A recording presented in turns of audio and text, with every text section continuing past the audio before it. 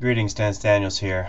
Sometimes you'll have a list of words like this here on the left hand side that you need translated into a different language. Google Spreadsheet allows for you to do that automatically using this piece of code right here. Google Translate equals text, or rather, Google Translate text source language target language. And what that means when you actually enter it, it would be equals Google Translate, parentheses, and then in this case I'm using A1.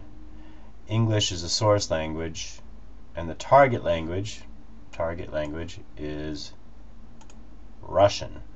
So I've got these phrases here. I just it works, so I can take the formula and drag it all the way down. In a few moments, I get all of the phrases translated into Russian. And the same thing I could do just as easily with German.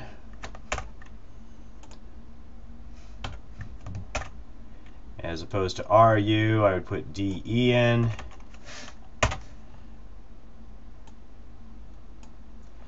Gibst eine uh, gibt, gibt es eine Kinderclub? Let's make that capital I. And you'll see that it automatically loads. Gibt es eine Kinderclub?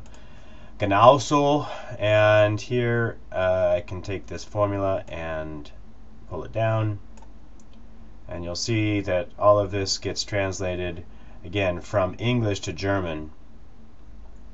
Now, the next thing you probably want to know, and I want to know, how well does it, how good of a job does it do translating back?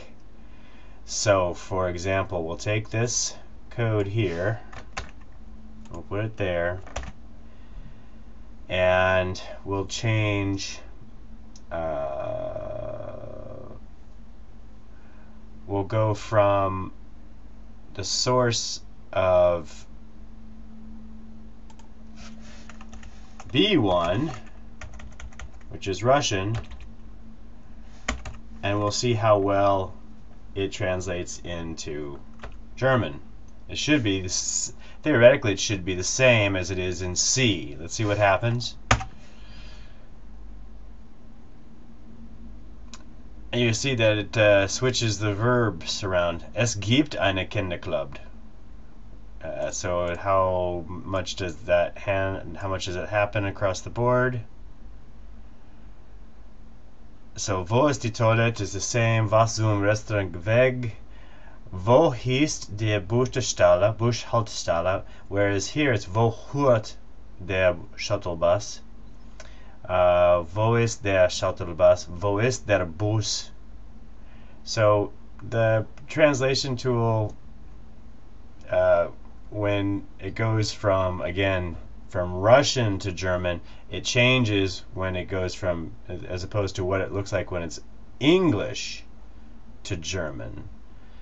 Uh, so be warned if you speak Russian and you're using the translation tool, it's going to sound a little different than if it was from English to German. Anyway, thanks for watching and happy computing.